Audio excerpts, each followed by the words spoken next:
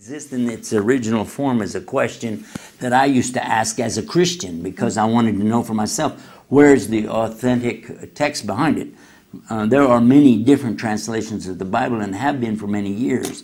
One of the biggest scholars of the evangelicals or of the uh, Christian world, he's a, a, scholar of the New Testament. Uh, his name is F. F. Bruce. He has a book out, and it's called The History of the Translations of the Holy Bible into the English Language.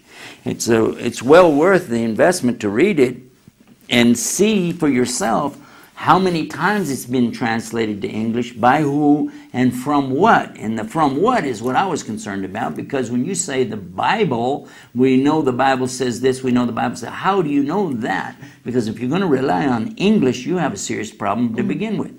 There was no English language even a thousand years yes, ago. Yes, yes. Because English came about after the Normans invaded the Saxons. Mm. That was in the year uh, 1066 AD. Mm-hmm.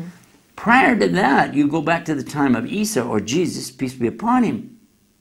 That's 2,000 years. Yes. That's a thousand years before English existed.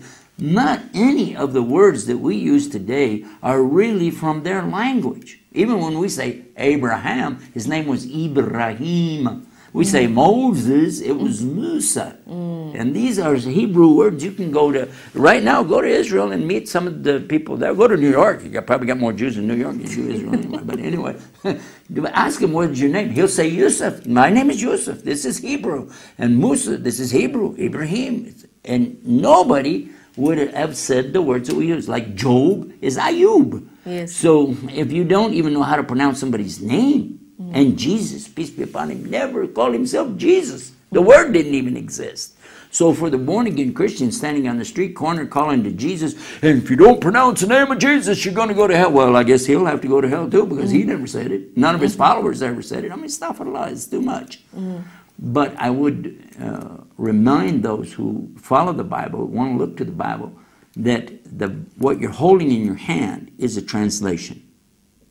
It's a translation of what?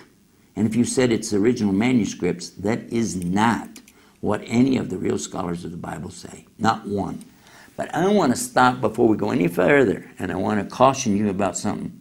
Because you know what? I care about you. You don't know me. And you think I don't know you, but you're a human being. Otherwise, you couldn't watch this thing. You wouldn't understand what's going on. So, as a human, you're my brother, you're my sister in humanity. And for that, I have to care about you. This is what Islam teaches us. Mm-hmm. And I want only the best for you. And I'm telling you, just open your heart first before you go out trying to make conclusions. Give Islam a chance. Be honest and wipe out your prejudices. Prejudice is one of the worst, despicable things that ever existed amongst humans, and it comes straight from the devil himself. Mm. So if you find prejudice in your heart, get rid of that first. Before you start talking about Quran, Bible, or anything else, Get rid of that first.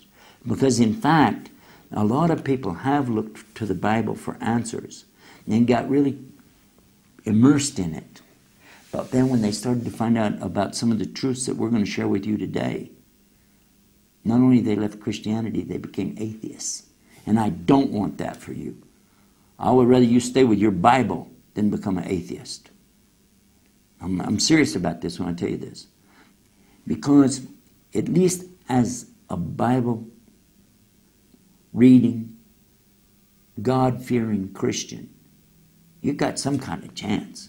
But as an atheist, nothing. So this is why I'm telling you this, because one of the biggest scholars that's on the tour and the, uh, the circuit, what they call it for books and so on today, is Bart Ehrman. And Bart Ehrman has written three major works that are produced and, and promoted published by the people who could care less about anything except money. And he became an atheist. But he used to be one who was insisting the Bible was the literal word of God, as is.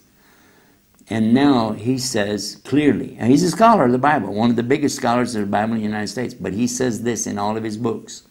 We do not have a copy, watch my hand, we don't have a copy of a copy of a copy of a copy of a copy. Mm of anything original from any manuscript. Now, that's a heavy statement against against believers because that means, well, what are you believing in then? What are you saying? His book, Lost Christianities, Lost Scriptures, and his final one, Misquoting Jesus, are very clear and attacking the very root of the Bible from a scholarly point of view. And this is what I want to caution you as a Muslim not to do, and you as a Christian not to get caught up in.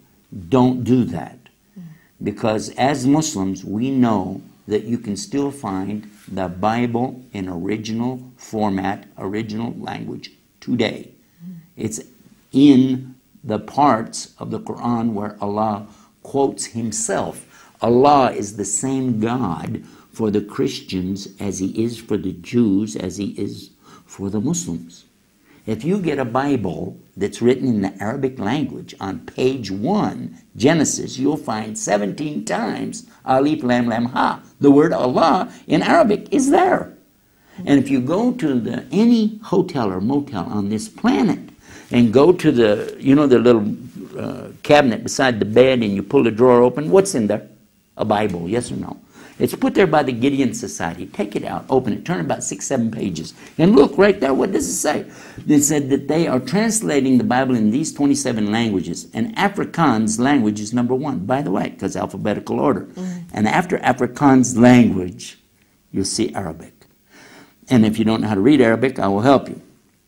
Because it's quoting all of the samples in those 27 languages are all from the book of John, the Gospel of John, chapter 3 verse 16 john 3.16 for god so loved the world and here it says in arabic for allah so loved the world.